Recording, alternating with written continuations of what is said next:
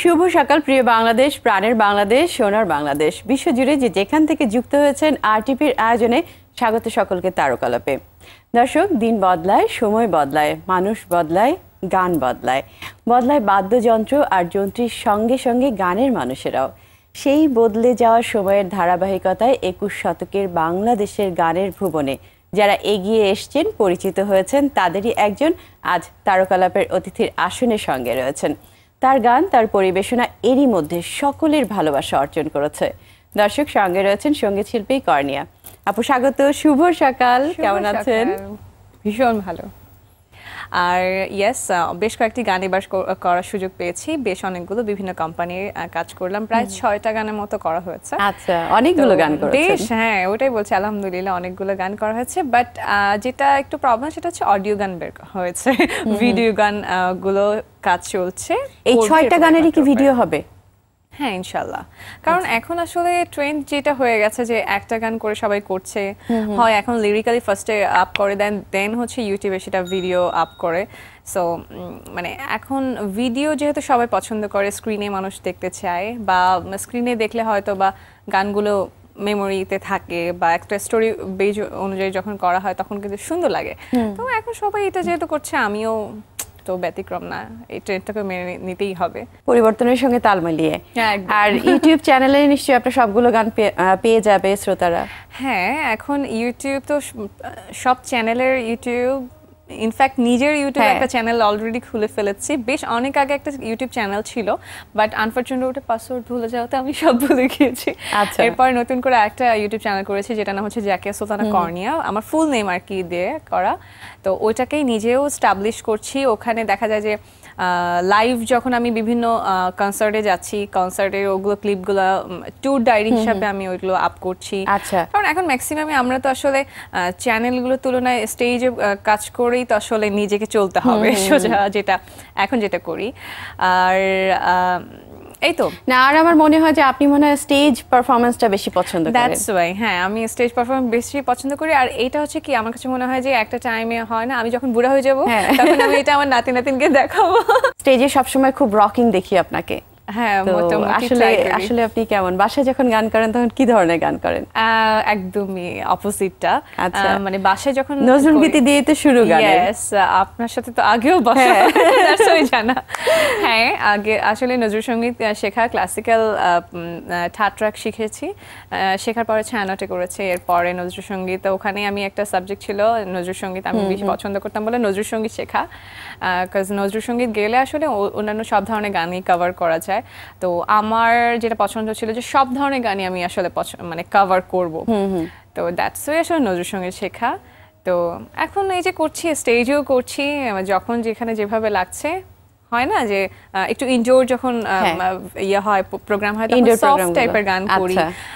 বা লাইভ যখন হয় তখন নিজের গান করি প্লাস ইনডোর গুলোতে কার গান করেন সাধারণত? ইনডোরগুলোতে খুব মেলোডি যেগুলো সং আছে একটু ইন্ডিয়ান বাংলাও করি বাংলাদেশেও কিছু অনেক আধুনিক যে ধরনের গানগুলো আছে সামিনা আপা বলেন বাপ্পাদা বলেন সবার এই ধরনের খুব সুন্দর সুন্দর কিছু আছে না? গানগুলো ভেতরকে অনেক টাচ করে দ্যাটস ওইগুলো গানগুলো করি। শ্রোতা ভক্তদের হৃদয়ে তো জায়গা করে নিয়েছি নিয়ে আপনি যেটা খুব ভালোভাবেই জানেন।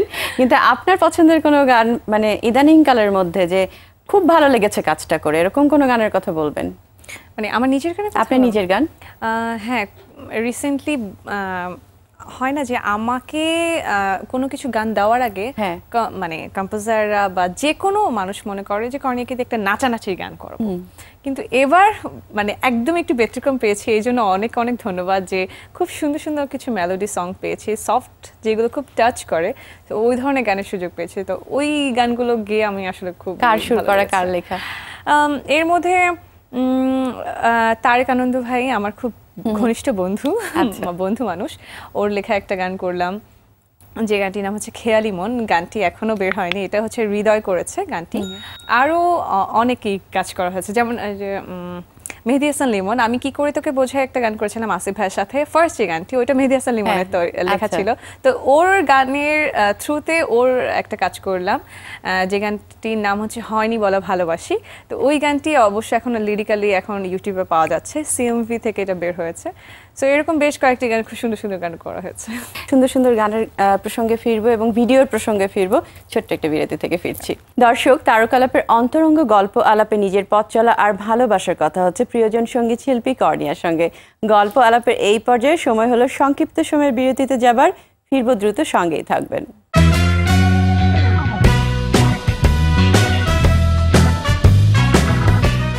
বিরতির এপারে ফিরে এলাম আজকের তারকালাপের দ্বিতীয় এবং শেষ অংশে সঙ্গে রয়েছেন গানে গানে সকলের মন জয় করা প্রিয় শিল্পী কর্নিয়া। ফিরছি গল্পে।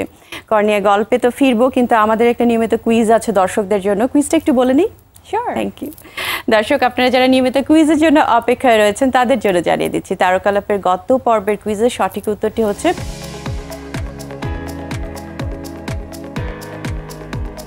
আর তারকালাপের আজকের কুইজটি হচ্ছে সংগীত শিল্পী কর্নিয়ার সব শেষ মিউজিক্যাল ফিল্মের শিরোনাম কি? অপশন ক, তোমার হাসি। অপশন খ, লাগ ভেলকি। কুইজের সঠিক উত্তর, সবচেয়ে বেশি সংখ্যক এস এম এস প্রেরণকারী বিজয়ী পাবেন তারকালাপের গেস্ট সিটে বসে প্রিয় তারকাদের সাথে নিজেকে মেলে ধরবার দারুণ সুযোগ। এবার দেখে নেব কে হয়েছেন আজকের বিজয়ী।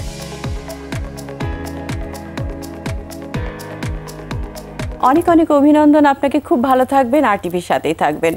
কর্নিয়া এই যে স্টেজ শো এবং ভিডিও টিডিও নিয়ে একটা খুব একটা ভালো সময় কাটছে নিশ্চয়ই আপনার। কিন্তু সংগীত শিল্পীরা আসলে যেটা আপনি বললেন একটা চেঞ্জ আসছে না আমাদের মিউজিক ইন্ডাস্ট্রিতে এই চেঞ্জটা অনেকেই কিন্তু খুব সহজভাবে নিচ্ছে না। তো সে ব্যাপারে আপনার কি মনে হয় যে আসলে জিনিসটা কতখানি পজিটিভ বা কতখানি নেগেটিভ আসলে আমি আসলে অনেক ছোট মানুষ আমি আমার মতো করে বলব আসলে সব কিছু কি বলব একটা ট্রেন্ড অনুযায়ী কিন্তু যায়। হ্যাঁ একটা টাইমে সিডি ক্যাসেট ছিল এরপর সিডি চল ছিল এরপর এখন আস্তে আস্তে করে ভিডিও চল চলে আসছে। সামনে আবার কি হবে আমরা কিন্তু জানি না। বাট তাল মিলিয়ে চলাটা চলতেই হবে কিছু করার নাই। এটা আমার কাছে মনে হয় কাজ না হলে আমরা তো পিছিয়ে পড়ে থাকব। যারা কাজ করছে এই মুহূর্তে তাদের সাথে আমাকে আমাকে মানে আমি যতটাও সিনিয়র হই না কেন আমাকে কাজের ইয়াংদের সাথে কিন্তু তাল মিলিয়ে চলতেই হবে। সো আমি কিন্তু এটা পজিটিভলি নেই। আমি কিন্তু নেগেটিভলি নেই না এটা। আর অনেকগুলো গান করছেন কিন্তু আসলে এখন আসলে গানের ট্রেনটা কেমন যাচ্ছে? মানে দর্শকরা কি ধরনের গান আশা করে আপনাদের কাছ থেকে? না দর্শকরা অবভিয়াসলি আমি যেটা মনে করি যে রিসেন্টলি চলছে একটু রিমেক করে যেগুলো গানগুলো ফিউশন করে যে গানগুলো যেমন অনেক পুরোনো দিনের হ্যাঁ, গানগুলো, একটু হ্যাঁ। পুরাতন দিনের গান। আমাদের ফিল্মেরই বেশ পুরাতন দিনের গান। ওগুলো কাভার করে আসছে সবাই কাভার করছে। আর দেখা যাচ্ছে যে পুরাতন দিনের গানের কোনো অংশ ছোট্ট একটা ছড়া আকারে যেটা আছে মানে সবসময় গেতে পারে। সো ওইটাকে মাথায় রেখে লিরিকটা বাদ বাকিটা চেঞ্জ করে এই জিনিসটা একটা আচ্ছা, চল আচ্ছা। এই মুহূর্তে যেটা আমি দেখতে পাচ্ছি।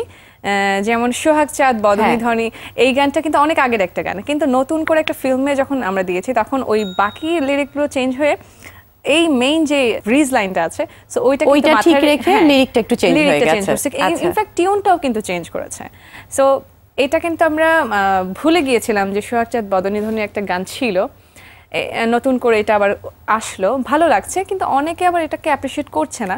বিকজ আগে যে গানটা ছিল ওইটা অনেকে মনে করছে না ওই লেখাটাও অনেক সুন্দর ছিল টিউনটা অনেক ভালো ছিল কেন ওইটা করছে না? বাট ওটাও কিন্তু অনেকে যারা করছে আমার কাছে মনে হয় যে দুটোই কিন্তু ভালো খারাপ না কিন্তু। মানে মানে গান ভালো আসুক এটাই চাই। সেটা হোক লিরিক চেঞ্জ হয়ে হোক ঠিক টিউন করে। তবে আগের গানগুলো যেগুলো সে ছিল আমার কাছে মনে হয় যে যাদের প্রথম মেক ওইটা তো অন্যরকম একটা ভালো লাগা তাই না? তো ওইটাকে ঠিক রাখাটা আমার কাছে মনে হয় উচিত। কারণ হয় না যে তাদের তো খারাপ লাগে যারা মেক করেছে যে হ্যাঁ আমার গানটা ছিল কেন এটা চেঞ্জ করল? এই যে খারাপ লাগাটা এটা আমার কাছে মনে হয় যে না করি। ওইটা ঠিক আপনি তো পুরোনো দিনের গানগুলো কাভার করছেন তো হ্যাঁ। যখন আপনি পুরোনো দিনের গানগুলো কাভার করেন কোন কোন দিকগুলো না আপনি একদম ঠিক রেখে গানটা করেন? হ্যাঁ আমার কাছে আমি টিউনটা ঠিক রেখে কাজ করি। আচ্ছা। একদম টিউনটা যেভাবে ওনারা গেয়েছেন অবশ্যই তার মতো করে কোনোভাবেই হবে না। হ্যাঁ আমি আমার মতো করেই গাইবো বাট তার সে যেভাবে সুর করে যেভাবে গেয়েছে টিউন ছিল বা লেখা যেটা ছিল আমি ওটাকে মাথায় রেখে বা ওটাকে মেমোরাইজ করে আমি আমার মতো করে আমি আমার ভয়েস দিয়ে ওটাকে ইয়ে করি। বাট মিউজিকটা দেখা যায় যে আমরা আমাদের মতো করে করি। ওইটা একটু চেঞ্জ করে ফেলি। কারণ একটু হয় না? হচ্ছে একটু দেখি না কেমন লাগে ভালো লাগে কিনা। সো অনেকে অ্যাপ্রিসিয়েট করে অনেকে অ্যাপ্রিসিয়েট করে না। এই আর কি। আর এই যে এরকম বিভিন্ন ধরনের যে নতুন নতুন ক্রিয়েশনগুলো আসছে আমাদের তো নিশ্চয়ই আপনারও অনেকগুলো প্ল্যান আছে। সেই প্ল্যানগুলো কি শুনব?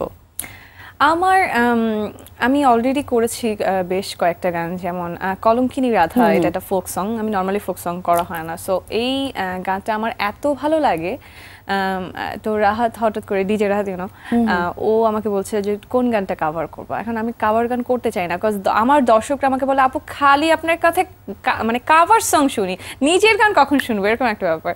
সো এত কমপ্লেন আমি হচ্ছে ধুর আমি এখন কাভার গান করব না। তারপর যখন আমাকে বলেছে না একটা ফোক গান করো।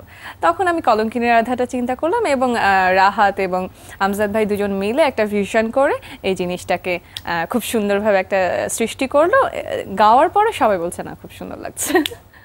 এই যে ইনডোরে গান করছেন তারপরে স্টেজ শো শোগুলো করছেন প্লেব্যাক করছেন সব কিছু করছেন তো আসলে মানে কোনটা কর্নিয়া কোনটাতে বেশি আপনি কমফোর্টেবল মানে আমি সবটাতে এক একটাতে এক আপনাকে পাচ্ছি কিন্তু আমরা। যেখানে আপনাকে ইনডোরে দেখছি পুরোনো দিনের গানগুলো যখন করছেন তখন চমৎকার ভাবে গানগুলো করছেন আবার স্টেজে খুব রকিং কর্নিয়াকে পাচ্ছি আমরা।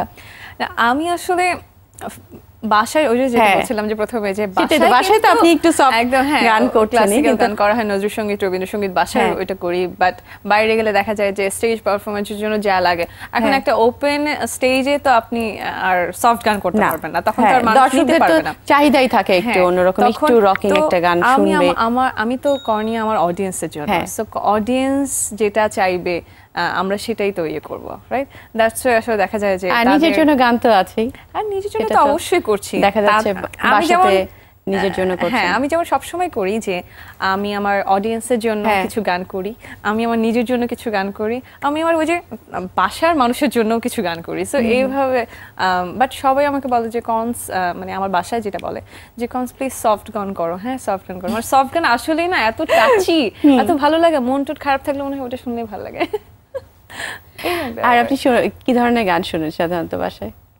আমি কি ধরনের গান আমি সব ধরনের গান সব ধরনের গান আর সব ধরনের গানে পাচ্ছি আপনাকে। মানে চমৎকার চমৎকার অনেকগুলো গানেই পাচ্ছি আপনাকে এবং ভবিষ্যতে আরও অনেক গানে পাবো এবং আরটিভির সাথে তো আছেনই। খুব ভালো থাকবেন আমরা আড্ডা দিতে দিতে অনুষ্ঠানে শেষে চলে এসেছি। অনেক অনেক শুভকামনা আপনার জন্য। আপনাকে অনেক অনেক ধন্যবাদ। আর এই মুহূর্তে যারা দেখছেন সবাইকে শুভ সকাল। আর আরটিভির সাথে থাকবেন আর আমাদের সাথে থাকবেন। নতুন গান শুনবেন, গান উপহার দিবেন মানুষকে।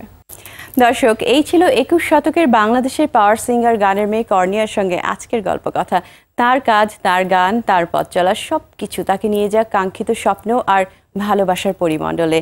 তার গান বাজুক শ্রোতা ভক্তদের কানে কানে, প্রাণে।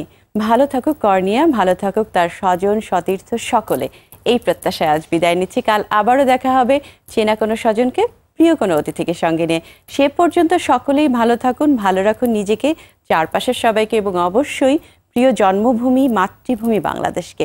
আর হ্যাঁ দর্শক, এই অনুষ্ঠানটি সহ আর টিভির ভালো লাগার সব আয়োজন পুনরায় ইউটিউবে দেখতে চাইলে ভিজিট করুন W W W YouTube dot com slash R TV ডিজিটালসে আবারও সবার জন্য শুভকামনা।